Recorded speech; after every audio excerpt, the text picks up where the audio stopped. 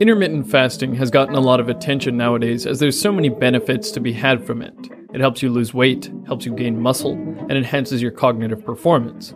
Specifically, it lowers insulin, the fat storing hormone involved with diabetes. It raises human growth hormone, which does everything from increasing muscle mass to making you look better and live longer. And it promotes the release of brain derived neurotrophic factor, a key hormone for growing new brain cells.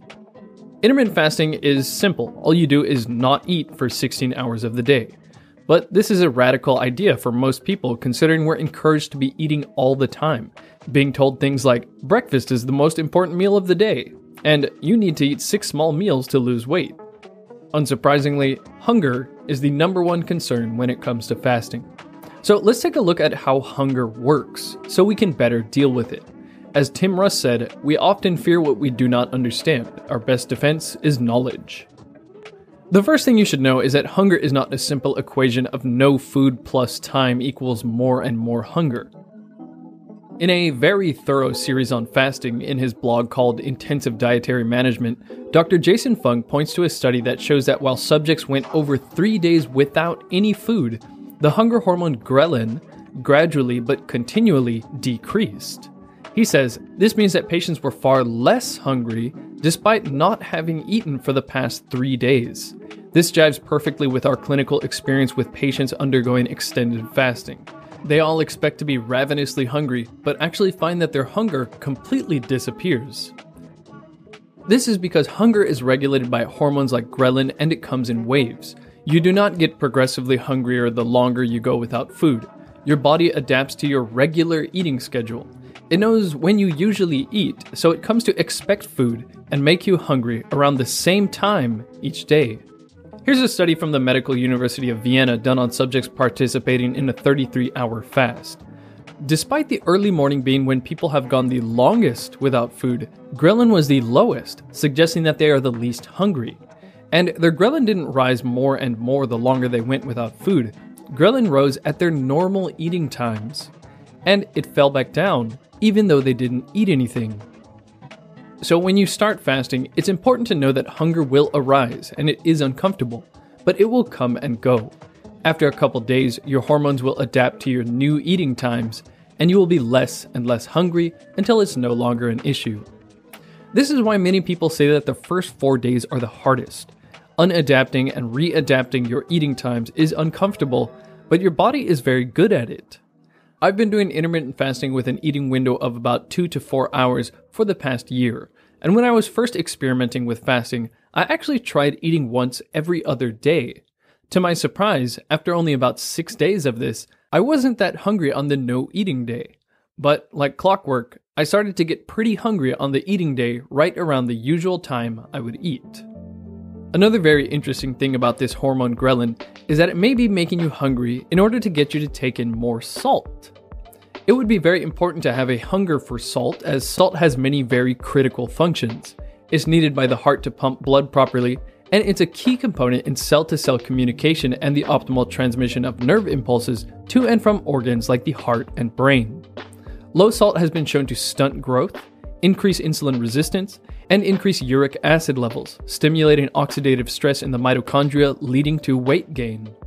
Despite all this, the standard low sodium guidelines of only 2.3 grams of sodium per day drastically underestimate how much salt the body really requires for optimal functioning.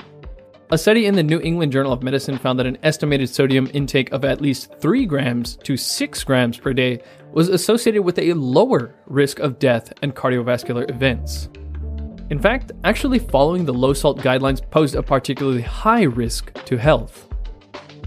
And intermittent fasting may have you requiring even more salt than usual. Intermittent fasting lowers your insulin levels. This is great and one of the main goals of intermittent fasting. But it's often overlooked that insulin retains sodium, so the lower your insulin goes, the more sodium your kidneys secrete. Losing a lot of sodium and other minerals can leave you feeling sluggish and hungry. Now, your body really doesn't want you to lose too much sodium, so one thing it does is it actually increases insulin levels in an attempt to retain more sodium. A 1991 study done on 147 people found that a low salt diet significantly increased serum insulin in these people. Of course, higher insulin is something you don't want, So let me explain more about insulin and how it affects hunger. When you eat, insulin goes up, and insulin helps you utilize carbohydrate for energy or stores it as glycogen, which is basically linked chains of glucose. This glycogen is stored in the liver or muscle. And when you have too much glycogen, the incoming carbohydrate will be stored as fat. Now, different foods will give you a different insulin rise. Fat stimulates insulin a minimal amount, while fiberless carbs provoke massive rises in insulin. But the point is, insulin's job is to help you absorb and store nutrients. Next, after about 46 hours after you eat, insulin levels will have gone down, and the glucose level in your blood starts to decrease. This prompts the pancreas to secrete glucagon. Glucagon has almost the opposite function of insulin. Insulin stores food energy, but glucagon pulls that energy out from your glycogen stores and your fat stores. So if you're eating every two hours and getting six small meals a day, you never let glucagon do its job, and your body never starts burning into your glycogen or your fat stores. Not a good strategy for losing weight. Well, what about hunger? Let's look at this study from 1986. They found if you inject an animal with insulin, it will eat more. Adding insulin increases appetite. If you have insulin floating around with no new glucose coming in, your blood glucose will drop. But insulin needs to be low for glucagon to use your fat or glycogen stores for energy. With high insulin, you have no access to your stored energy. So it makes sense for extra insulin to promote hunger, as the only way you can get new energy is to eat it and raise your blood glucose. And as you might expect, giving an animal glucagon reduced food intake. So glucagon is decreasing appetite. Now, they also infused glucose into the animal's small intestine, and as you would expect, it reduced food intake. So it's of course not the case that carbs don't satiate you to some extent. But if you're eating every two hours, you're constantly pumping out insulin, and the levels never go low enough for glucagon to do its job. This explains why you can eat a bowl of cereal for breakfast or a huge plate of pasta for lunch and be hungry in just an hour or two. Refined carbohydrates like that will cause the body to overshoot with its insulin secretion, so even after all the carbohydrates are processed after the meal, you still have a bunch of insulin sitting around and making you hungry. This overshooting with insulin also explains why if you binge eat at night, you'll wake up starving in the morning. So, after a meal, if you're patient, glucagon will allow you to start running on your stored energy and you will be less hungry.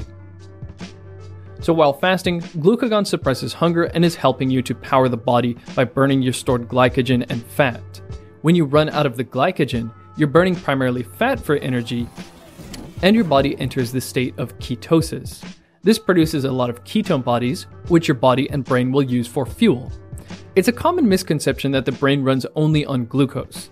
In 1967, George Cahill found that the brain will derive two thirds of its energy from ketone bodies made from fat.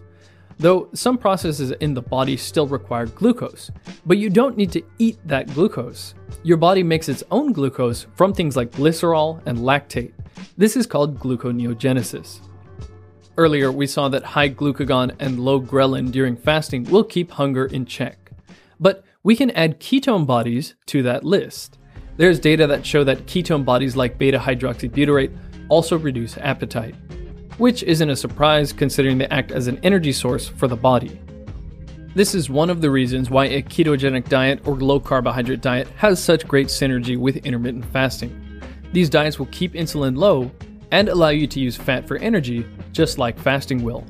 So, if you're able, I'd recommend trying to shift your diet to one that is high in good fat, high in fiber, high in micronutrients, moderate on protein, and low in carbohydrate. You could even start eating like this before you begin intermittent fasting, and you'll already be adapted to getting your energy from fat, so you'll have less hunger and adapt to intermittent fasting easier. You might be wondering why I said moderate protein. Many people assume a low carb or keto diet must have a lot of protein in it, but that's not quite the case. Insulin is necessary for protein to be metabolized, so you get an insulin rise when you eat protein. But not only that, when you eat more protein than your body needs to make or repair cells, the excess will be broken down into glucose through gluconeogenesis. In fact, diabetics have been shown to have a 30% decrease in daily blood glucose levels just by restricting protein. Now, there's one last thing about insulin and hunger it's how it interacts with leptin, the satiety hormone. Essentially, when you eat food, depending on the composition of the meal, your levels of leptin go up and you feel more satiated. But when you have too much insulin, it reduces leptin signaling. Your brain can't pick up on the leptin signal, keeping you hungry. In fact, obesity, which is virtually always accompanied by insulin resistance, is also accompanied by leptin resistance. If you want to stay satiated and full of energy rather than be hungry and lethargic, you need to keep your insulin low. Lucky for you, fasting seems to be the best way to lower insulin levels. So, while intermittent fasting is hard for the first couple of days, it's helpful to know that your body and hormones are working in your favor, making it easier and easier. And if you get enough salt and minerals, and eat high fiber, moderate protein, and low carbohydrate, then you can make the whole process smoother.